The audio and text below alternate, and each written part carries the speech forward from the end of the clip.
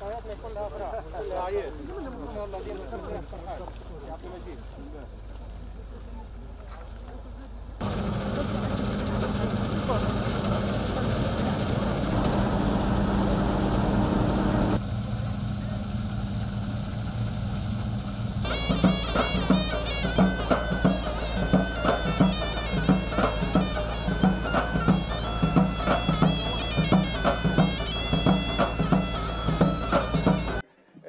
إصابة متوسطة إلى مرضية إلى أقل من متوسطة بحسب الجهات نأمل أن نجمع بين 8 و 10 مليون قنطار. ثم نقطة أو حاجة مؤشر اللي هو بون في صالح الفلاح مش في صالح الفلاح.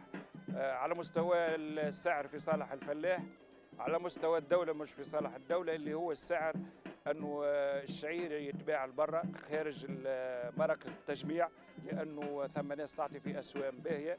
ما ثماش مصائب إن شاء الله ما ثماش حرائق إن شاء الله. هذا نتمنى أنه يكمل على خير ونتمنى أنه الفلاح ينجم يعاود باش ينهض العام الجاي ويعاود يزرع وإن شاء الله اللي جاي خير.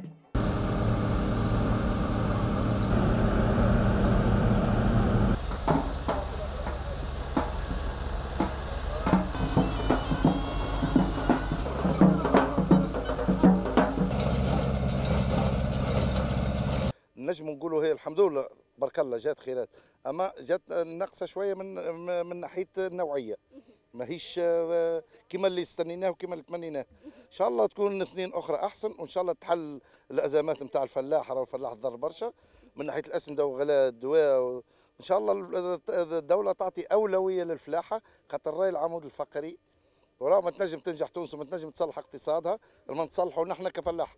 لما وقت تنظم أمورنا ونولوا ننجو في ظروف طيبة راه بحول الله لا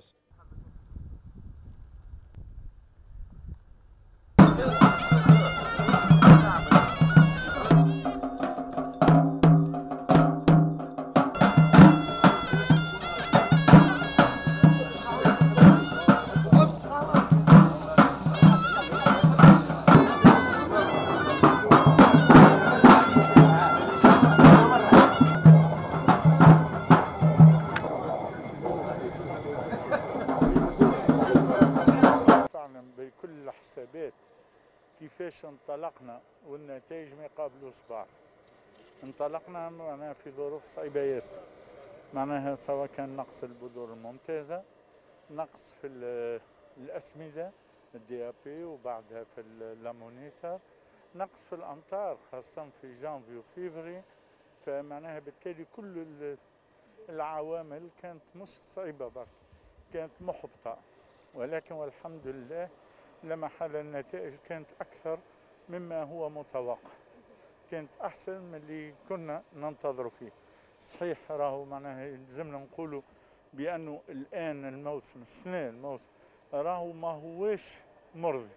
مقارنة للي إحنا نطلبوه مقارنة للي نطمحوا له بعيد ياسر. ولكن زاد مقارنة للانطلاق الموسم ظروف الموسم نقولوا الحمد لله.